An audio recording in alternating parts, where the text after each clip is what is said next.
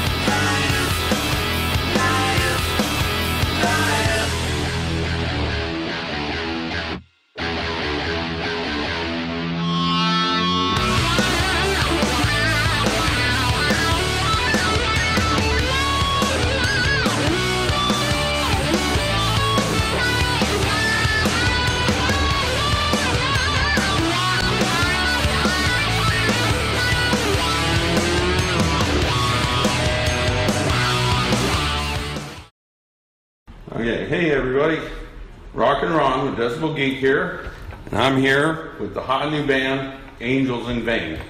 So we got Taz. That's right. What bands have you been in before? Uh, yeah, man, my, hi- my history kind of like dates all the way back to 89 with Cherry Street. We got a deal with BMG back then and toured for about three years before uh, that band dissolved. And then I ended up moving to Texas, Austin, putting a band together uh, called Spinning Chain. And uh, I produced a record with a good friend of mine, Bryan Scott from Union Underground, and slowly migrated to San Antonio to start doing production with him. Um, those are pretty much the two bigger bands that I've been with a lot. Uh, I kind of transitioned to the other side of the board than playing, more as a songwriter and just producing bands, and that's kind of what I've been doing for like the last probably 15 years. Right. So I'll do some pickup gigs here there, helping out bands that I produce and write with, but um, pretty much on the other side of the board a lot. So this is really exciting because I had, you know, this thing kind of just blew up, and Chris and I have been writing for two years together, just slowly putting it together, and then we just put out the teaser, and uh, that photo just blew up. So it's exciting to be here in Vegas, and looks like I'll be here every six weeks at least. So because when I say you guys are a new band, we're pretty. you're a new band, but you guys have been around for a while. we're a new band, but we're old dogs. But you're Old you're rats. veterans. Yeah. Everything, Yeah. everything old is new again. That's right. to quote Still got a old to quote a great review. So now, Eric Stacy, Faster Pussycat, original, Yeah, and uh, we go way, way back.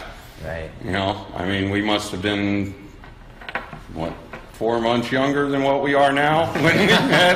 Yeah, I met you. Uh, we met at the uh, Jet Jet show. Boy show Uh-huh. in uh, Denver. Right. And much love to Mickey and Fernie Rod, Al, Billy, Right on. all the guys. all the boys. And, uh, and uh, tell us a little bit about uh, What else you been involved in? Um, well, before Faster, I was in a band called Darling Cruel with Greg Darling that went on to sign with Polygram.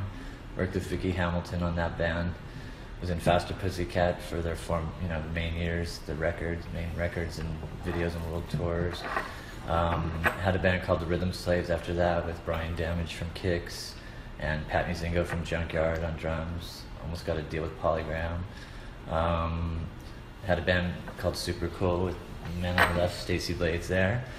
Um, I was in a band called Bubble with uh, Bam from Dogs D'Amour and Share Pedersen from Vixen and my old guitar player Brent Muscat. Um, played with the Liberators with Phil Lewis and Brent Muscat.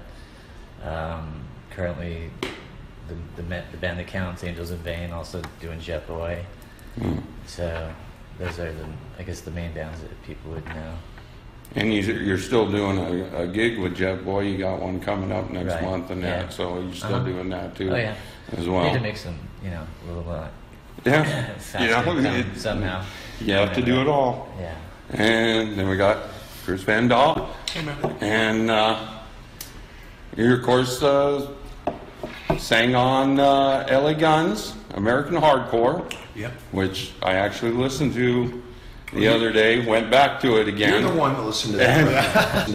yeah, that, that's that's the LA Guns record that should have been called Nog Das Plow or you know what I mean? Uh, that, that's actually a Kelly Nichols reference. We almost changed the name back then to Nog Das Plow just for that I was trying to figure out what that meant Yeah. backwards. Like, Yeah, it's like- yeah, I know. There's there's so much history and so many things that are like inside that you know I won't find myself over explaining everything.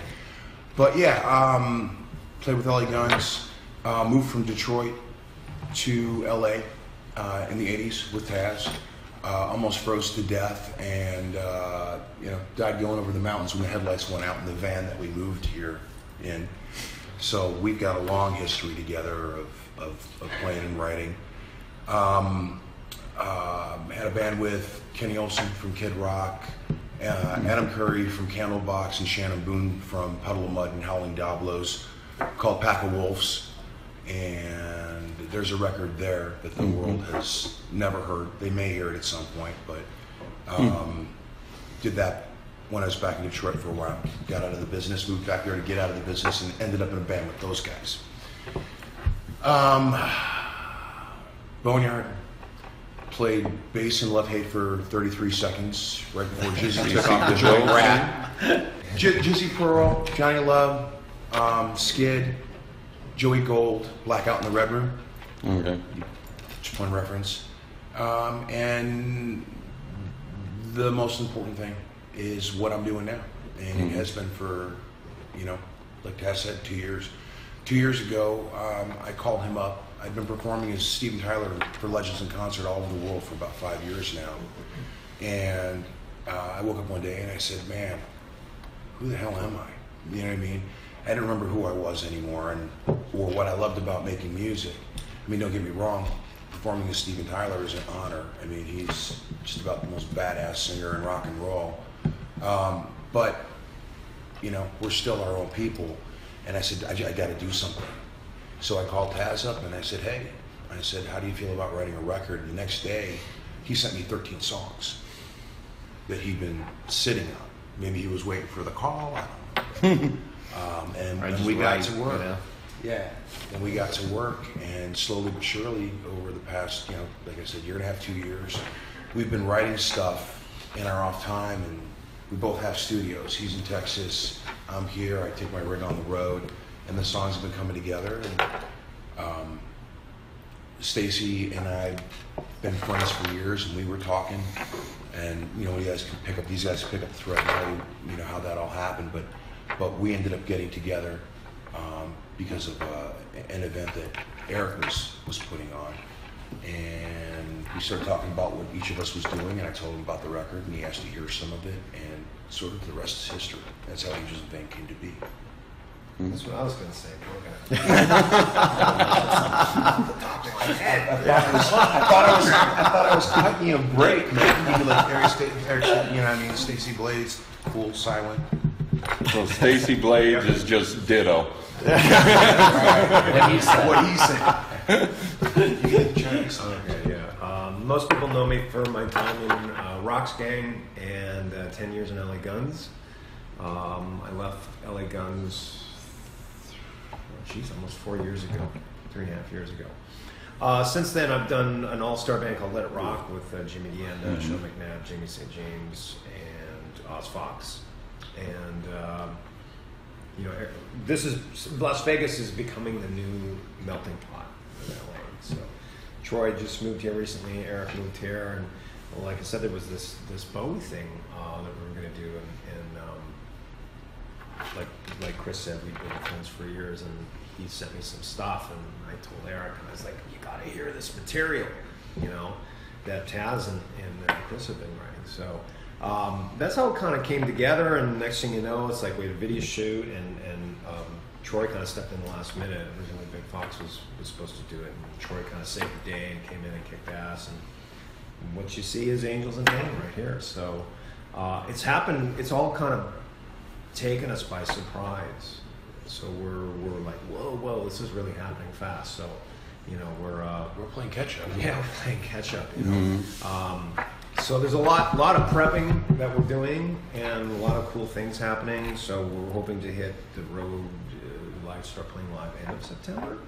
Um, so we have uh, this movie premiere tonight that we're going to. Hence, that's why we're all That's Stacey's sharp in. dressed men. Stacey's, Stacey's movie. Have you seen the movie yet? Yes. Yeah. Have you seen it? Mm-hmm. Yeah. I ordered the DVD as soon as it came out. Right on. Actually, So, yeah, met that's, Kyle uh, and Steve a couple of weeks ago. Yeah. Oh, okay. Yeah. Cool. Um, so that's yeah where we're at. We're, we're um, you know excited where this is going, and and um, you know we're continuing to write.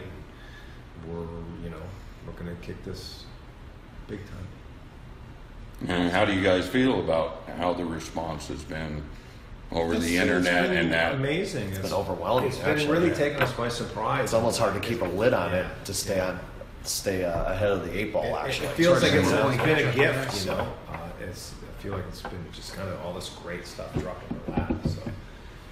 I think it's just it's a testimony to, to the fact that the timing for this is right, and that people are hungry for a really great hard rock band. You know, Definitely. um, we just do what we do the best that we can, and you know, it's like Eric said earlier. Everything old is new again. You know what I mean? We're like a classic hard rock band, but Taz is a brilliant producer and engineer, so the production is very current. You know, there's some very mainstream modern elements, so it's, it's sort of a hybrid, musically speaking. Um, and it got to the point where we, we initially we hadn't planned to release the, the first single uh, until next month, but there was so much demand when word got out about the band that we decided to go ahead and release No One Gets Out Alive early. That's why we're calling it a pre-single. The actual single is entitled to be 19 is entitled 1973, and we that's shot a video for it. Yeah, Yeah, that's that's what you shot the video video, for, yeah. so. Yeah. Yeah, if we have time, um, you'll get to see a sneak peek of what's going on with that. But really quickly, you've got Troy's history. We don't care about the history. We just care about what's. We, we never beyond got to the Troy. thing. Oh, to Troy. Hello. Yeah, we can't leave out We were coming back there. Oh no! Hey, we say save the best for Don't last. sit Right, the yeah. edge of the table. I was going to give him a drum roll, but well, he's the drummer. Right.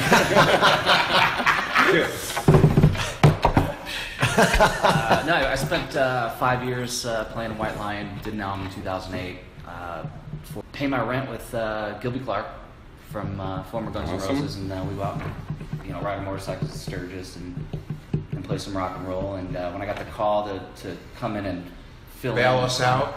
Well, it was to fill in on this video is what I thought, you know, because you know, kind of what I've done in my past is I've always been a higher guy, and I'm cool with that. I like coming in and then assimilating to what I have to do, you know. And um, and then when I kind of came and met with them and realized, no, no, we need a guy, and and you know, we all, uh, he and I know each other, Stacey and I know each other. We've jammed before, you know, in LA or out here, and. Um, and then when I realized it was something more than that, I was like, all right, this is pretty cool. It's been a long time since I've done that, so it's kind of exciting, you know, uh, being in a band as opposed to just being a part of a, a project or Right. someone else's, you know, training wheel. You know what I mean? So Right. I dig it. It's cool. It's a cool thing.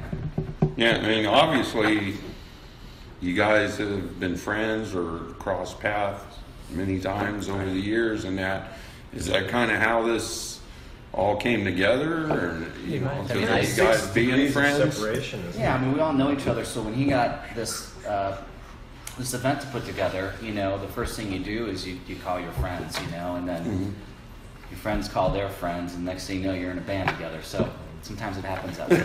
when I put to put the Bowie Memorial together, the first drummer actually tapped was Troy. I mean, he was always in mind as a drummer for this. If you know, if somebody else didn't work out, you know, I've jammed with him since we used to do a jam with this thing called Happen ha- Happen Harry and the Halftones Yeah. back in L.A., which Wow. Cat Club. he's Yeah. done, and you know, Well, and you probably done it too. I remember it. Yeah, Yeah, I mean, remember it. yeah, sure. everybody's done it. Yeah, you know Harry. Actually, the last show I played in LA, Harry booked. There you go. Yeah. Uh, I How think much did it cost called- you? exactly. Didn't cost me anything, just because of my history with him. But um, it was, I think it was called The Joint or something. Yeah, Yeah, the the joint. joint. Yeah, Uh-huh. I yeah. played there. He was Publishing. booking I did like a Yeah. showcase thing there. on Robertson. Yeah. Yeah, yeah. Weird stage, man. Yeah. Way loud. Dude, If you fall off it's ridiculous. Yeah. it was break your ridiculous. Yeah.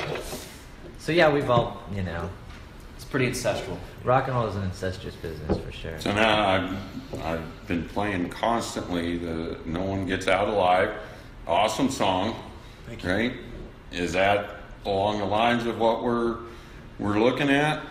You know, sticking to that formula and, and good, dirty, hard a lot of rock and roll. too. I think though, there's a lot, everything is is linear. It it a lot of our stuff that we're writing and the newer stuff is it's got that vibe, but it's it's all kind of different, and that's I think what's exciting about it is a lot of bands just kind of define one sound and it's kind of a linear thing. And like wait, Mm-hmm. this everybody's got different influences and stuff like that. So um, I haven't been excited origi- uh, like about an original project in years that I am with this. So yeah, it's, I can sum it up like that. I guess. I don't know what it is. Yeah, the song's a great indicator of, He's a great writer. of, of what we do, but it, it by no means defines us as a band. Um, there are going to be a lot of surprises, so still your expectations. Right? So turn it off and everybody switch where you're sitting. Right. Yeah. Turn it back on. Surely. You put on Eric's hat. Change shirts. What they're dealing. Okay, this is this and this is that, and I'm comfortable with that. Yeah, yeah. And this band is pushing boundaries.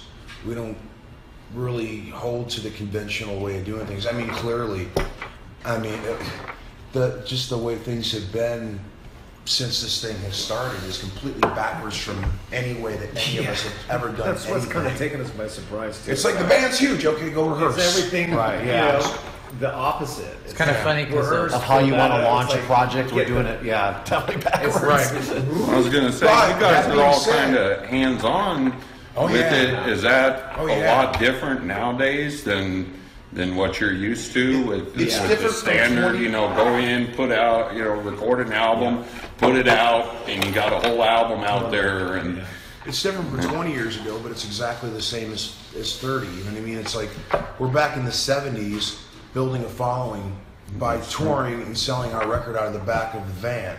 But the van now is the internet. You know what I mean? So this band is more than just hands on. We, at the moment, we pretty much handle, manage, and control everything about it, which I think is great because we're in touch with the people that seem to be liking what we're doing and we're paying attention, you know, and that's the biggest thing. I mean, I remember being a kid and being like, you know what I mean? People were inaccessible back then, you know, and it's great to dream about meeting Ozzy Osbourne or Randy Rhoads. But today, I mean, you can send somebody a message. And right now, at least, while we're capable in this situation, everybody in this band is responding to those messages directly. So it's kind of a cool thing to be able to do. Also on the title, the, the, the thing you said about titling everything or tagging everything, the band just put out the single and the pictures and whatever. Um, it's funny because the press is what started calling the band a supergroup. We never ever used that word and have been try, tried to be real clear about. Yeah, we've been trying tried to be real clear. That never came from any five guys here. We just you know, we needed a singer, two guitar players, a drummer, and a bass player, and found that we had that and put a band together. You called your friends. You That's know, what you did. right? Right, you yeah. know, We didn't think more than that. That's it. That's you know. it. You know, it was like, and then you know, Paris and Russia and all these press all over the world are going, yeah, super group this, super group that. We never sold it as that, and never claimed to be. It's flattering to have them say it, but it's it's not coming from us. That's just you know their their you're five very talented guys that got together and and doing a hell of a good band. Thank you. You know, it's not uh, you know super group. I think puts too much expectation. Uh, you know that We're not Asia. yeah. I mean, people people can label it whatever they want. At the end of the day, the fans are going to decide what this is. As far as we're concerned, it's just a, a great fucking band and good friends doing what we do. You know, it's And kinda people are funny. receptive, so that's killer. You know, it's kind of funny. No one ever calls 6 a.m. a super group. They just call them 6 a.m. Exactly. You know, Exactly. I don't. Yeah. We don't Maybe it's want 'cause to. We don't want to be keys. known as a super. You know, you know, an super group is band. Hollywood vampires. Yeah, like Alice Cooper and Paul McCartney. and Joe Perry. That's and, that would be a super. And that's a fly by night, done for cash thing. And I don't really care if they read that tomorrow because they know that what they're doing. It's not a long term. Yeah, it's a little more contrived. This is actually original music, you know, where as those bands are typically known for doing big shows and catalogs of the guys that are in the band. This isn't a cover band, you know, so uh, it's something different. And I, I think eventually, once the music gets out there, it'll just automatically be defined on its own. You know, it'll stand up on its own. You don't need anybody to, you know, like he says, people like to attach things so they can you know, file it away somewhere, and uh, they're gonna open their file cabinet they put us in the wrong file. So we'll Well figure said. it out when Well they figure said. it out. You know. They're going to find us in six different files. Yeah. FBI file. And to and to go on- further on that, Yeah, right. if you're coming to see Angels in Vein expecting to hear LA Guns or Faster Pussycat or White Lion, you're not going to probably hear what you come to hear. Sorry, but you know. Cut yours. Now, do you think to begin with you might do uh, I some to do as I just said fill it because? I don't want people. I, I said it. I said what I said because I don't want people to come thinking they're gonna hear like a couple hits by LA Guns, White Lion, or Faster Pussycat. You're not gonna hear that coming to, to see Angels of Vein. You're gonna hear Angels of Vein original. If we throw in a song or two by a previous band, maybe just to fill the setup in the beginning, maybe. Mm-hmm. But it's it's It would not be gonna something It's not the objective. Yeah, Right. yeah, yet to it's be not, determined. it's- yeah, it's not. It has. Well, we're Old short, Cherry, but it won't be the bit focus. old Cherry Street. Yeah. It's not gonna be. We Yeah, need ten a minutes major- left. Yeah, it's Now, not. Chris, I Drum know solo. that you did the logo Right. on it, which is awesome. Thank know, you. And the individual logos The for, icons. for all the band. Yeah. And uh, so, how did you guys come up with the name and Angels in Vain? Right.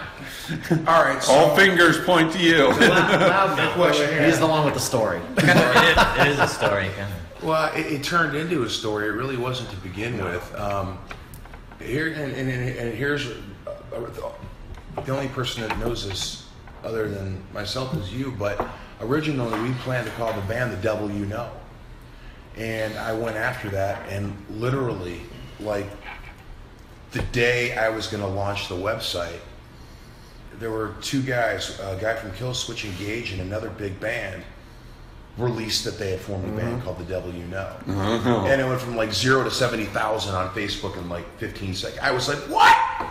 So back to the drawing board, you know what I mean? By the way, that's a very cool name. it's a great name. Yeah. that's why we're going to call the band that. Yeah, that was a good idea. Yeah, thanks, guys. um, and and I, I've been thinking about it for a year. You know, it's important. You've Right. got to, It whatever it is, you got to remember if it works, you're living with it. You know what I mean? So I put a lot of thought into this, just like you know everything that we do, and um, I was doing some re- research for, for reference, and I, and I, came, I came across a passage, and it was literally written back in the 1800s, and it was on the web, and it was something, something, angels, and then there was like a hyphen, and in vain. It was two separate sentences, but when I read through it, I came across that, and I went, wow, that's pretty cool. You know what I mean? It just, it struck me that way. And, and I thought about it, and it's kind of a double entendre. And I mean, if you look at my artwork, all my tattoo work, it's all balanced. It's like you've got the '60s mi- microphone with the devil tail and the and the angel's wings and the halo. Everything in life is about balance. And I mm-hmm. was like, that really makes sense. And I said, well, what if we spin it and we don't go with vain, V-A-I-N, we go with V-E-I-N because what we do comes from inside of us. Okay. So that's where the name came from. We've got, yeah, we've got. We have- Okay, well, just, uh, just to wrap it up, you guys got, uh, 1973 is gonna be the next, next song coming out. Should be out soon. You guys got a video shot for it? Yep. And that'll be coming out soon. Do you know when? Projected time frame? Um, I'm hoping first week, going maybe into the second week of July. Soon, sooner than later. I'm not going to give you a specific because I'll be shooting Hopefully myself. about the middle. Now, now is the, are you planning on doing, the song is coming out with the video? I mean, the Yes. same as the video, That not is- and that not is released actually- ahead of time. That is the plan intended for, like what you've heard wasn't even intended to be a single. So if you love that song, know that that wasn't even the band's choice for a single coming out of the gate. 73 is the first official single and it will be released with the video sometime in July. Is the objective, yeah. And you guys are working on more material? Are you looking Oh, at, yeah. at putting out a full album or? Over time. Or one at a time? Yeah. And, uh, kind of feeling it out the way We may just put out a they do song a, nowadays? a, a month for the next 50 years. Yeah, I mean, right now we're putting out singles like once a month, and um, you know whatever happens happens. Whether it ends up as an EP or full record, there's Yeah. no set. You know, there's no set schedule Keep or creating the buzz. Yeah, as long as people are demand's interested and they there. want it, yeah. We'll continue. We're reacting to the Yeah. public. And touring plans? Touring plans, we're, we're, we're looking at starting to tour um, end of coming September, if things work that way. In this business, nothing ever goes exactly as you plan, but right now, that's the idea. And we're looking at dates and we're talking to people, so, yeah, Hopefully, realistically, by the end of September. yeah. All right, good enough. All right, let's wrap it up because I know we gotta get going. Everybody, this is Rockin' Ron with Decibel Geek Podcast. Here with Angels in Vein. States, we gotta be there. Keep your eye out for them. This is a hot new band. Download the single on iTunes now. No one gets out alive. Watch for the new video coming out, 1973. And And thank you to Hopefully- everybody that supported the Thank band. you. Thank you, Decibel yes, thank you very Decibel much. Geek. And watch Decibel Geek for everything Angels in Vein coming up. Thank you. Thanks, guys. Appreciate it. Hey man, thanks. We got Pleasure to meet you too. You want to show up? You want to show up? Do you mind? Yeah.